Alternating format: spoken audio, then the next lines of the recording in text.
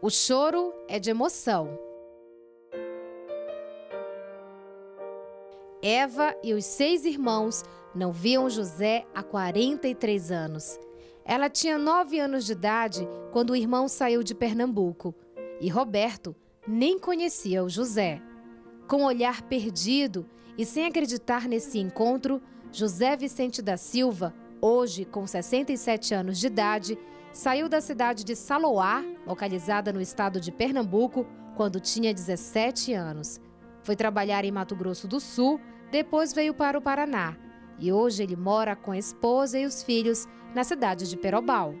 O tempo passou e ele perdeu o contato com a família, mas os irmãos nunca perderam a esperança de reencontrar o José. Uma emoção muito grande que a gente sente, né? Assim, por a tempo que a gente está sozinho, largado, né? E através da minha irmã, que ela conseguiu localizar onde eu estava, né? Aí que teve esse encontro maravilhoso através de Deus, né? Mas sempre tinha meu sonho na vida era se encontrar com todos eles, né?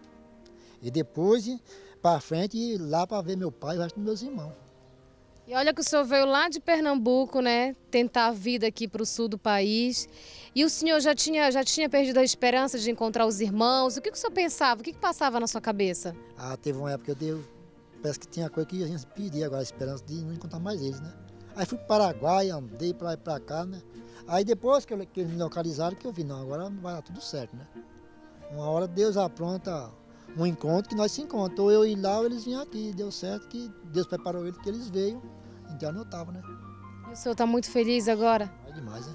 Tudo eu, como meus filhos, minha senhora, tudo feliz, né? A família toda, né? O senhor que tem cinco filhos, todos. No, nenhum conhecia os tios? Nenhum. Um que conhecia só o meu irmão mais velho que eles conheciam, mas os outros ninguém se conhecia, né? E agora, senhor pretende então é, é, segurar os irmãos, não deixar mais fugir, não deixar ficar mais longe? Agora daqui para frente tem que manter contato direto, né? Um com o outro, né? Sempre mais tem contato com ela, né? Que mora no Rio de Janeiro, né? Com as outras é difícil, né? Meu pai mesmo é. Tem uns, quase um ano que eu não converso com ele no telefone, né? Que é muito longe demais e é ruim se fazer ligação, né? E com a minha tia que mora de Janeiro, nós temos contato sempre, né? E agora vocês já estão aí programando para irem ao Pernambuco para ver novamente o pai. Quanto tempo o senhor não vê o seu pai?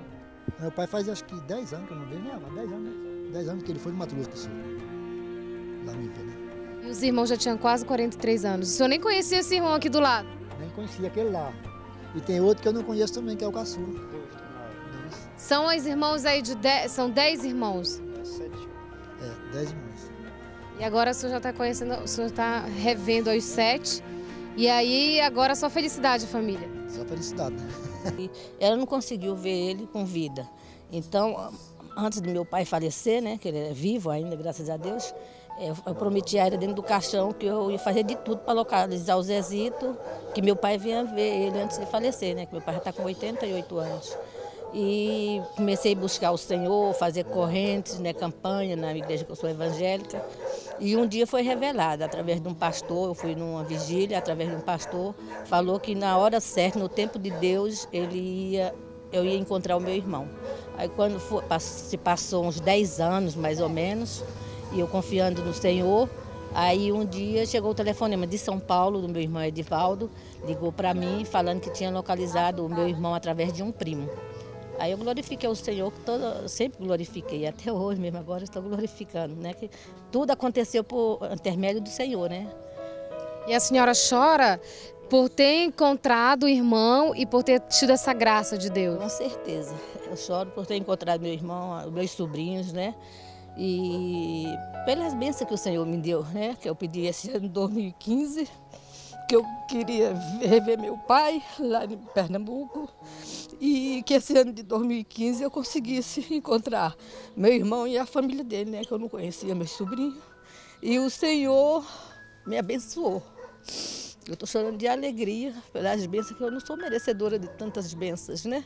E esse ano de 2015 o Senhor me abençoou muito mesmo, muito mesmo. Depois de tantos anos longe, agora a família Silva não quer mais perder o contato e já planeja reencontrar o pai em Pernambuco com os irmãos que ficaram lá. O amor e a esperança serão sempre as marcas registradas dessa família que atravessou o Brasil para reencontrar o José.